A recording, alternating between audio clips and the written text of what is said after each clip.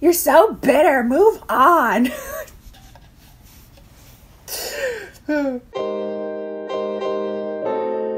Happy Valentine's Day. Today, I thought, in the spirit of love and all that, I'm gonna be doing my makeup like my ex's current girlfriend. I know it's gonna be very, very different because we look very different. So I'm gonna try my best. So I've already put on a wig that I have not worn in six months. The thing is, I get quality wigs, but the goal is for it to look real matted and all like frizzled up. And if it smells like an old woman's pantyhose drawer, you're on it. Now, for the skin, I have not lotioned. The goal is for your skin to be real, real rough, leathery, lizardish, and orange. Basically, you want to look like a persimmon. Like if you took a bite of her face, it would come off and it would taste like coca. So I have not lotioned because I want to get that textural feel. That's not orange enough. There we go. I'm gonna go right into my color corrector. Basically use this as foundation because she don't know how to color correct. Honey, it's for very specific spots, but she just goes all in like her entire face is a giant discoloration. At first, I didn't realize it was a foundation issue. At first, I thought it was something wrong with his camera. Because like every time they take pictures together, she the only one in sepia. It looks like he's taking pictures with a B-reel of Gone with the Wind. And he got mad at me because I was like, yeah, she got a real classic look. He calling me childish and I'm like, what am I supposed to do? You dump me for a kumquat. Now she does tend to put foundation on top of it, but not enough to cover it. So she don't know the cardinal rule to blend, so I'm gonna leave it there. Then I'm gonna go with a concealer under my eye that's like way too light. Mm-hmm. Mm-hmm. This is yep.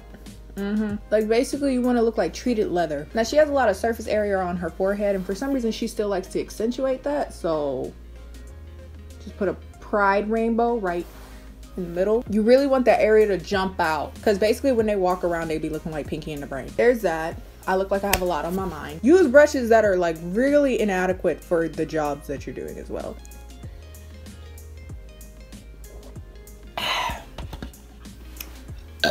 okay, so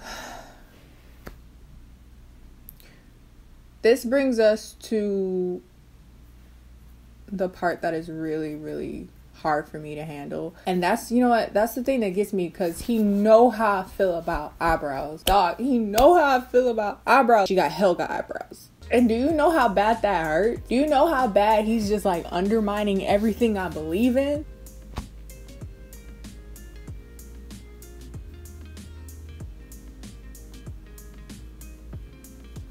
I can't even do it, bro.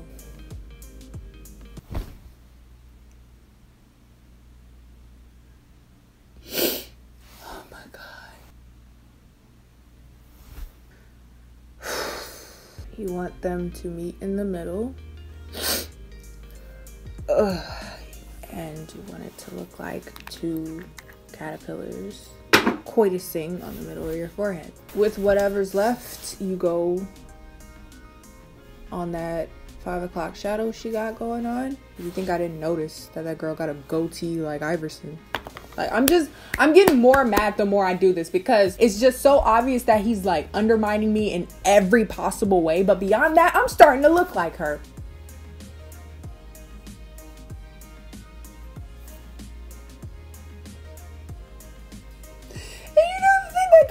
About the eyebrows though the thing that really got me is because when we first met he was like yo i really really i'm really into artsy girls. How was i supposed to know that meant that he wanted to smash frida? I look like groucho marx. I look like i look like every disney villain. I look like jafar and scar. I'm a good person. I guess after this i'm gonna powder. The goal is for it to be as dry and cakey as possible. If it looks like you can blow off her skin particles like Dandelion, Good job. Looking mad ashy.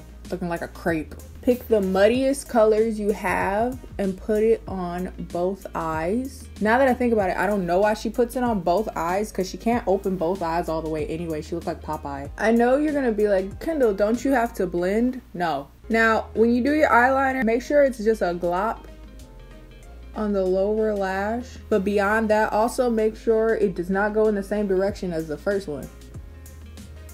Yep, there it is. You know you've done enough when it actually floats into the ether.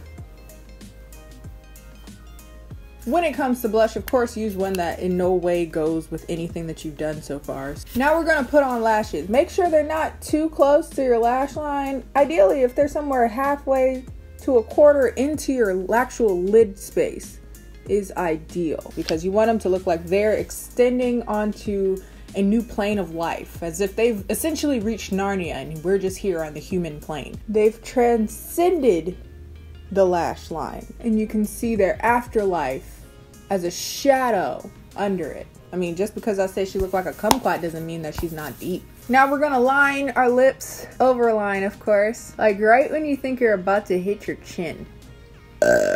Then use a very pale and unflattering nude for your skin tone. I know your first impulse will be to blend the lip liner into the color. Don't.